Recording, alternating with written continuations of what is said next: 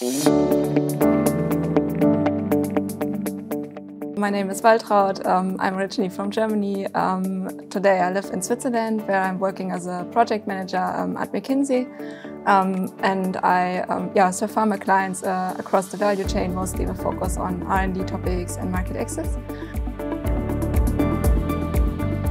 I worked at Roche uh, when I was doing the MBA and um, already I think in the maybe second or third semester I realized that you know I would probably need a change after the MBA because um, yeah you get a lot of input. Something happens with you. There's sort of a reflection process ongoing while you are in the MBA and then you realize if you want to sort of keep this mindset and apply some of your knowledge um, it's probably easiest to do this in a new setting rather than going back to sort of a job where you maybe already have some sort of routine. And so that's why was also the reason why I decided um, yeah, to look for something new and ended up at McKinsey, so in management consulting. Yeah, I mean, obviously there are different things that you take away from the MBA. I would say like short term, there's obviously some factual knowledge that you gain. But um, I mean, let's be honest, that fades away over time. So, I mean, you don't remember all the facts that I learned four years ago. But then there's also sort of a, I would say, a mindset shift maybe.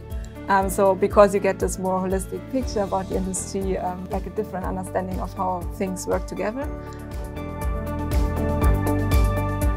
I was expecting to meet um, interesting people, get some interesting knowledge, hopefully broaden my horizon and get a um, yeah, more holistic picture about the pharma industry.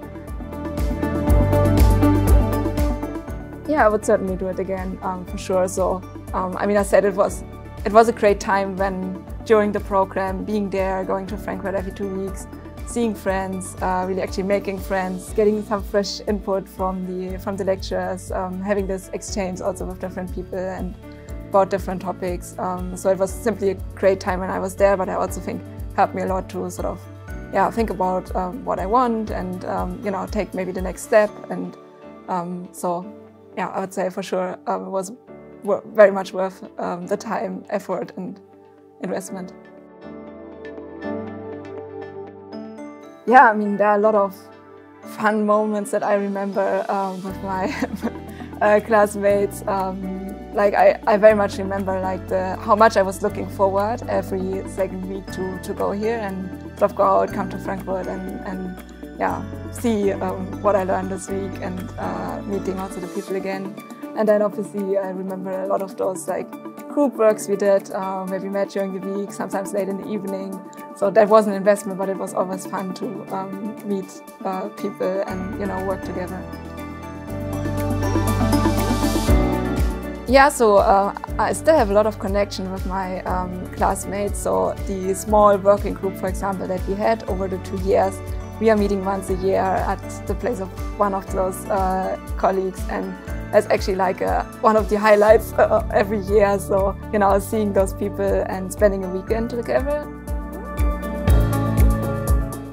The Pharma MBA is, I would say, it's intense. It's two years, so it takes quite some time, but it's really fun. So um, you learn a lot. Um, that's great. And making the connection, meeting people and um, being curious what happens to you over time. I think that's that would be the how I would describe it in short.